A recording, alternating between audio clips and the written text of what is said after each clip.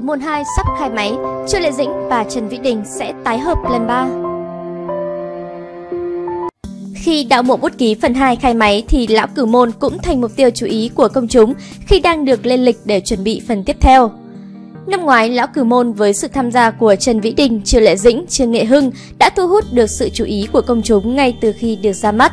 Dàn diễn viên diễn xuất tốt, có ngoại hình ưa nhìn cùng nội dung hấp dẫn đã giúp Lão Cửu Môn nhận được rất nhiều lời khen của cư dân mạng.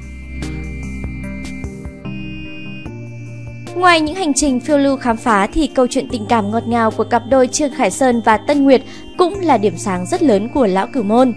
Trần Vĩ Đình bá đạo, điển trai, nam tính cùng Triệu Lệ Dĩnh ngọt ngào lém lỉnh thông minh được khán giả ca tụng là một trong những cặp đôi màn ảnh nhỏ ấn tượng nhất năm 2017.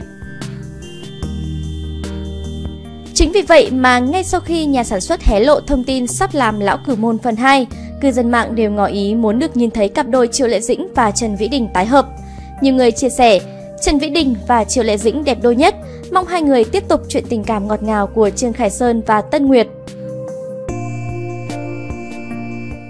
Điều khá bất ngờ là thông tin liên quan đến Lão Cửu Môn 2 đã được đăng tải trên trang Duban. Đúng như người hâm mộ Triệu Lệ Dĩnh và Trần Vĩ Đình mong đợi, tên của cả hai đều xuất hiện trong danh sách diễn viên chính. Đồng hành cùng họ là nam ca sĩ diễn viên Trương Nghệ Hưng. Đạo diễn của Lão cử Môn hé lộ phần 2 này, mọi người sẽ tập trung nhiều hơn vào các chuyến phiêu lưu trong mộ cổ của dàn diễn viên chính, đồng nghĩa với việc các yếu tố tình cảm sẽ bị cắt giảm tối đa.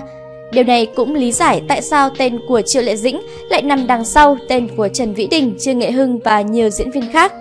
Nhiều người suy đoán trong phần mới này, Triệu Lệ Dĩnh sẽ đảm nhận vai trò khách mời chứ không còn là diễn viên chính. Bạn có ủng hộ Triệu Lệ Dĩnh và Trần Vĩ Đình tái hợp trong Lão Cửu Môn 2 hay không? Hãy chia sẻ cho Tốt Sao Hoa được biết nhé!